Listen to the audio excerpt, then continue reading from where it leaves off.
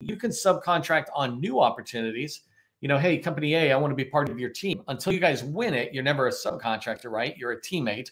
But as soon as you win it, you'll be given a subcontract based basically on your teaming agreement. And so now you're a subcontractor. But that's on new opportunities. And from my perspective, that represents revenue that's six to 24 months out.